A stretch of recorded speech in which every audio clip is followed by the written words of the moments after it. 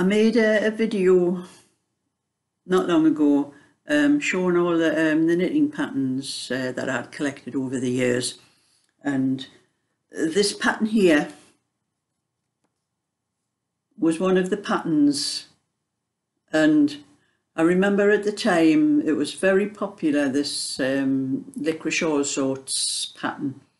And it was a friend of mine actually gave me this pattern and she asked if I would knit the jumper for um, a little girl and she couldn't knit. She knew that I could do it so she gave me the pattern and uh, I knitted it for her and I think after that I had a knitting machine at the time and it was a lot easier to do the um, the pattern on uh, my knitting machine because when my friends other friends all saw the little girl with the sweater they all wanted one and she asked me to do them. So I think every little girl or even little boys in our street at the time were wearing this sweater because I had knit them on my um, knitting machine.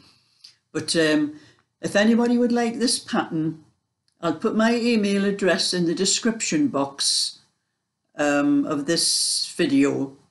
And they just send me a message and I'll send it to them in the, um, the PDF form.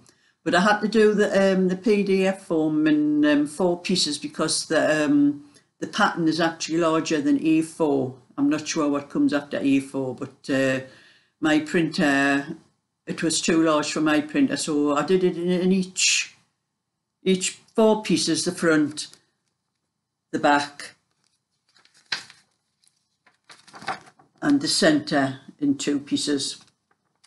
But um, anybody printing it off um, just needs to, um, to stick all the pieces together when it comes through. So if you'd like it, just message me and I'll send it to you.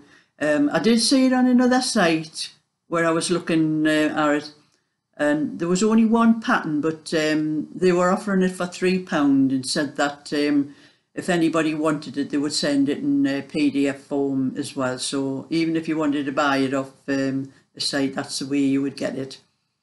Um, but uh, you can have it for free um, off me. Just give me your email address and if you like this video thumbs up and subscribe